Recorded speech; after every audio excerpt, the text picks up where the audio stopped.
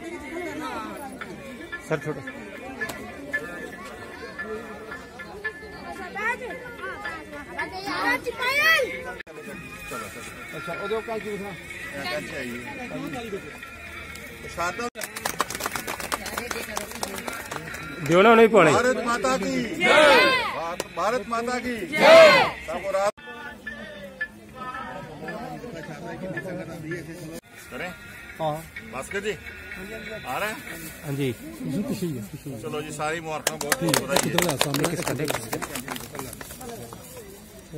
ਕੋਈ ਕੁਛ ਵੀ ਜਾਓਗੇ ਚਲੋ ਕੋਲ ਜਾਓਗੇ ਆਗੇ नाम अपना दलवीर सिंह कहा हूँ ਆਇਓ ਕੋਲ ਜਾਓਗੇ ਆਇਓ ਲੈਣ ਚ ਅੱਗੇ ਆਇਓ ਖੜੋ ਆਇਓ आइए भाई ਆ ਸਾਹਮਣੇ यहाँ शेख नगर में, जो वार्ड नंबर सैंतालीस में पड़ता है, हमारा राधा स्वामी सत्संग घर है, संत रसीला राम आश्रम।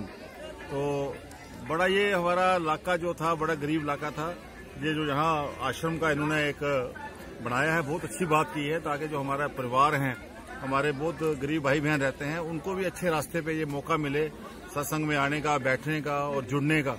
ये बहुत पुण्य का काम किया है इस आश्रम ने।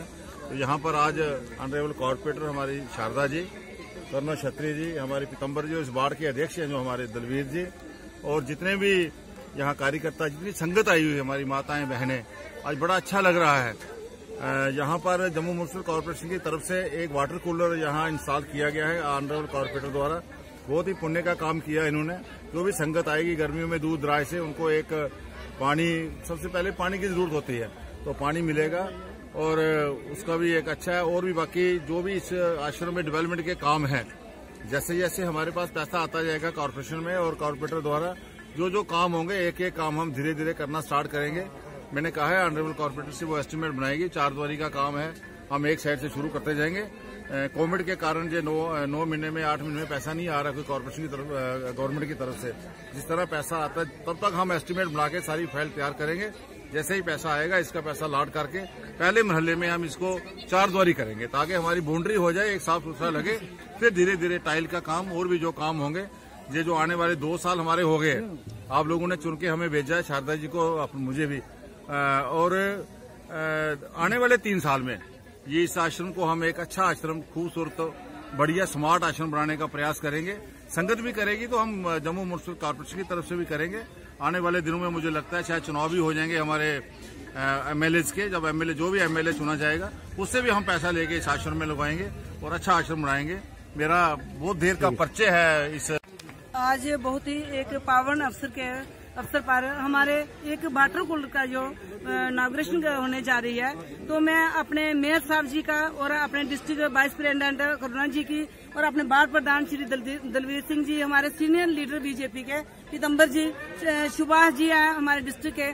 और मैं सभी का धन्यवाद करती हूँ जिन्होंने अपने टाइम निकालकर हमारे इधर शेख नगर में, जहाँ पर राधा स्वामी का आश्रम बनाया गया।